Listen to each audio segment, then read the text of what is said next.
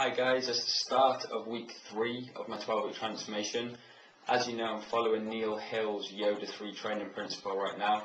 So week three is the total annihilation phase, as he likes to call it. Um, I can reassure you that it certainly is the case. Um, so the repetition range has gone higher this week. Uh, for smaller body parts like your arms, anywhere between 15 to 20, uh, maybe 17, 22, something like that. Um, there's a lot of drop sets and things like that. I maximise the blood flow and hit the slow twitch muscle fibers as well. Um, so today you saw me train arms. Um, the first exercise we went into was uh, alternating dumbbell curls. I uh, did three sets of that and it was absolute killer. Uh, the first set I did 20 reps, those with 20 kilo dumbbells, so that's really heavy for me. Um, the Millennium Sport Technology Creo 2 I'm using at the minute has definitely done my strength the, the world of good. Um, before this transformation I'd have got maybe 12 reps of those weights, so I've seen a huge difference as I have with a, a PhD VMAX pump, which I highly rate. Um, so that's the first exercise. We did three sets of that. Um, you saw me do 20 reps in that one set, and then two sets following, it was about 18 and 19 reps. Because obviously you're not going to be able to get the same amount of reps as you did on the first set. If you can, then obviously you aren't pushing yourself hard enough.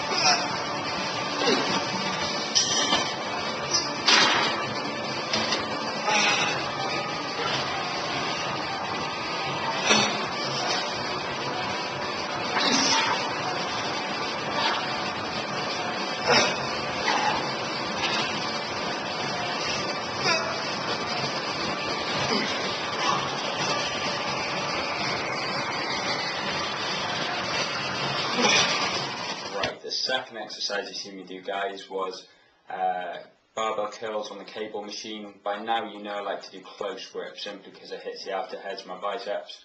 Uh, found over the years that's really helped develop my arms. My arms are one of my stronger body parts and I'd say that has a lot to do with it. Um, the other thing is that I've always used a full range of motion which I feel has really helped my arms grow and they continue to grow uh, because I get out of my head the weight I'm using instead I go for full range of motion so uh, the muscles are under tension through the whole repetition. Um, we use a repetition range of 15 to 20 uh, on that exercise. Uh, three sets again, and that is absolutely killer. Because again, we're doing the full stack, guys. So just because we're doing high reps, you must understand we're not doing lightweight. We're still going as heavy as we can, which is why it's so brutal. If you'd say do 20 reps, that's no problem. If you you know half the weight you normally use, but we're going all out to go really heavy and uh, that makes the training really intense and it you know it really does make you dig deep and you have to really get head into it otherwise you won't finish the set.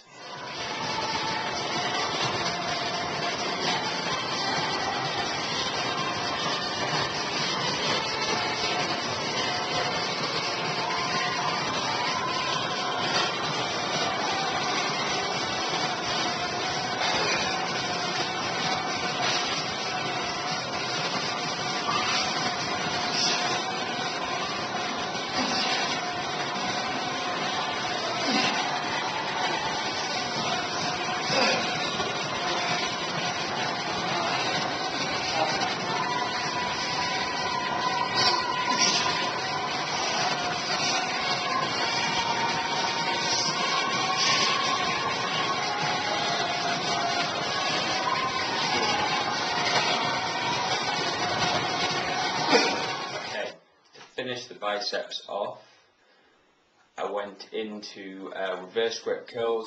Uh, I don't use those very often. Obviously, it's known to hit your forearms, but I do feel it hits your biceps as well. That's just a nice um, exercise to thicken your arms, you know, forearms as well. I've never trained my, trained my forearms ever because uh, I feel I get a good workout just with uh, general training. But um, I like to do reverse curls very occasionally just because I think they add to the overall th uh, thickness of your arms. So again, we're doing higher reps of 15 to 20, three sets of that. And then that was biceps complete.